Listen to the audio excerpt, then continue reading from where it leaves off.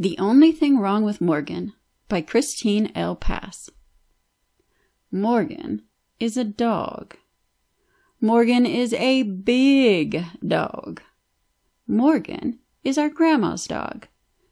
The only problem with Morgan is Morgan is a pit bull, and people are afraid of pit bulls. They say pit bulls are mean, aggressive, and unpredictable.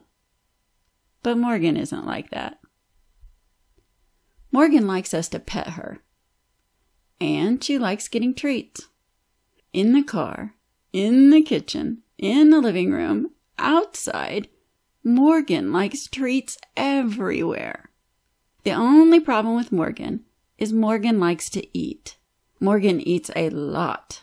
She gobbles and wobbles because she eats and eats and eats. Yes, that's the only problem with Morgan.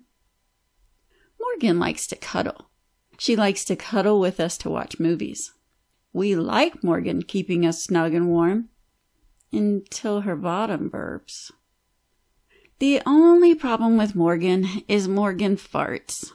Morgan farts a lot. Morgan farts all the time.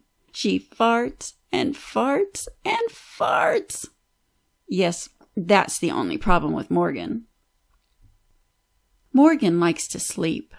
Morgan sleeps a lot. Morgan also likes to poop. The only problem with Morgan is Morgan poops. Morgan poops a lot. Morgan poops and poops and poops some more. Yes, that's the only problem with Morgan. Morgan is a dog. Morgan is a great dog. Morgan is our grandma's dog. But you know what? The only real problem with Morgan is there's only one of her.